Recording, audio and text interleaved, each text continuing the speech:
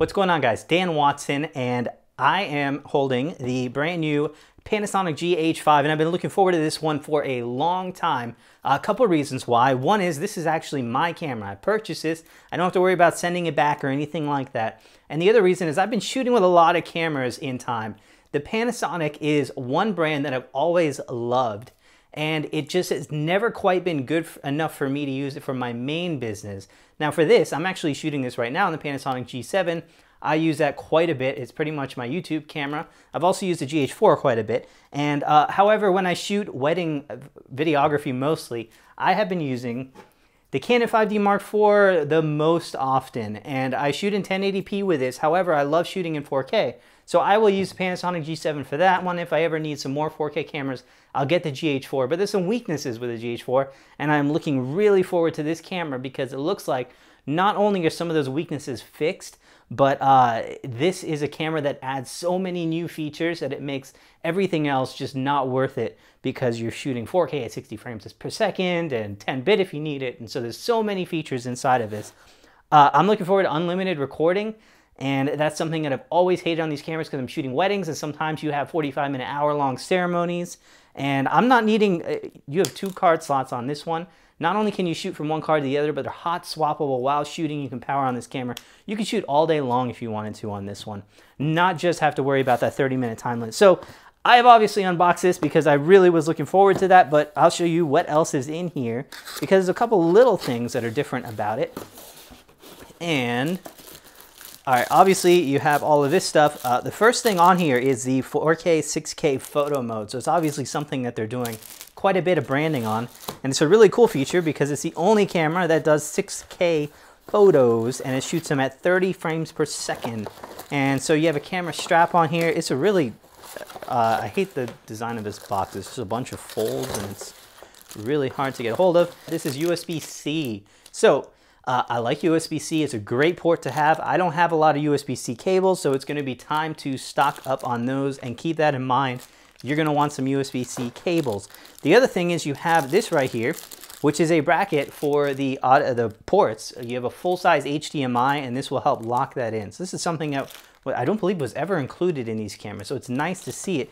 You would typically get like a camera cage or something like that to be able to use this, but now uh, I guess it has does it have screws in here? I guess it has the ability on here to mount directly. It looks like there's a screw location or clips right on there. And so yeah, this will hold your cables and keep those from pulling out on you. So that's a really nice feature. Looking forward to this. Uh, a couple quick impressions. I've had this for a couple hours. I've used it just a little bit. It is built like a tank. Just for comparison, let's see, I've got the Olympus OMD EM1 Mark II, and this is small compared to the GH5. And the grip on this just feels puny compared to this, which is more of a full-size feeling camera. It's still smaller than something like the Canon 5D Mark IV. However, it feels very, very good in the hand, just as good, if not better. This actually feels a little chunky now coming from the other one for my hands, this is actually one of the best fitting cameras that I've used. Now, I know the battery grip on this one, I don't think you need it too much, uh, but that's something that you could get as well if you need a little bit more grip on that. It uses the same batteries as a GH4. That's mostly a good thing. It's a little bit less battery life, but at least you'll have some batteries and plenty of battery options that you can get. So that is probably it for this thing. Uh, yeah, tons of customization options. Going through the menus is actually pretty easy. I didn't have too much trouble. However, I'm coming from Panasonic cameras, so it might be you know a little bit different for you. I will say a lot of this is unusual, this kind of layout for this um, from, uh, from Panasonic on this, and the joystick. Let's just talk about the joystick because I just had the A99 here if you want to check out that review. The A99 had one of the worst joysticks I've ever used. This has got to be one of the best. It's the most accurate, it's very easy to find. It does stick out a lot, I would worry about jamming that on something. I don't know if it would break or not, but overall it is one of the best feeling joysticks that I have used. Everything on here is just the most resounding clicks. You'll feel very, very comfortable using it. Uh, there's only one port on the side. Another difference, so the uh, this EM1 Mark II has this switch to switch these dials from being, I have them set to shutter speed and aperture, and you can switch them to, I have it set to white balance and your ISO. I don't like this because what happens is you switch, make your settings, and unless you immediately go to switch back and it's a physical switch, you'll just keep it there because you'll be shooting while doing this. You make a switch, do that, not switch back. And uh, I'll make go to make a change on my shutter speed and I'll find out I just changed my white balance. And so there's little things like that that are not as good for video shooting. For photo shooting, it's probably fine, but when you're making changes on the fly, this one you can program any button to do that as well. You hit the button, it makes that, and as soon as you click something else out of that menu, it goes back to that default setting. I like that a lot. Really, really cool design. All right, so enough on that one for a little bit. There's gonna be so much on there. So definitely subscribe. Also follow me on Facebook, Instagram, uh, those are the main sources. I'm on Twitter as well, but not as often. And if you want to see some of the things that I'm doing as I'm doing it, that's where you're going to want to go because I'm able to post there a lot more than I'm able to post to YouTube. So this is another thing that it, this is a Zhiyun Crane and this is the Smooth Q. And if you've seen anything for a while, you know I've been using the Crane uh, gimbal for a while. It is my favorite gimbal so far that I have used, especially for the type of shooting that I am doing. It works really well. I mount the Panasonic on there. This is going to be a great camera for that because it has built-in image stabilization, so I can use it with some pretty wide lenses. So when they came out with this one, at first I was like, really? Um, this basically uses your phone as the camera for that. And at first I was like, eh, I don't know if you need that. I've got cameras. Why would I want to use my phone? I started thinking a lot more as I've been getting this, and there are a lot of uses for this, and a lot of people on here are shooting in places where you might not want to bring a full camera system or a camera bag. This is extremely small, lightweight, portable, and then you mount your phone, which you always have with you anyway. Most phones now, if you've got an iPhone 7 or something like that, I've got the Note 5, they can shoot up to 4K if you want to. They can shoot slow motion. a lot of people are using them for, uh, for basically like vlogs and stuff like that. So it is a great tool for that.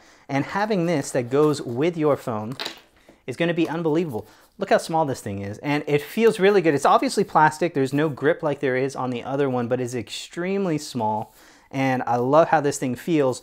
One of the nice things as well is you do have your uh, quarter 20 on this. So if you want, you can set this thing up on a little table tripod, put it there and be shooting vlogs in a minute. The other thing is that this works with your phone. It will charge your phone USB power to that.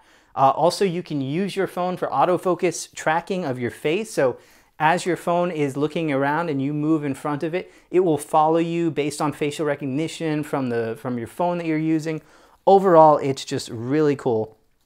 And so uh, it adjusts a little bit differently than the other one. And the other thing is you can use your phone in portrait or landscape just by flipping that around. And the adjustments are uh, just these screws and they pop out like this. Everything is really smooth.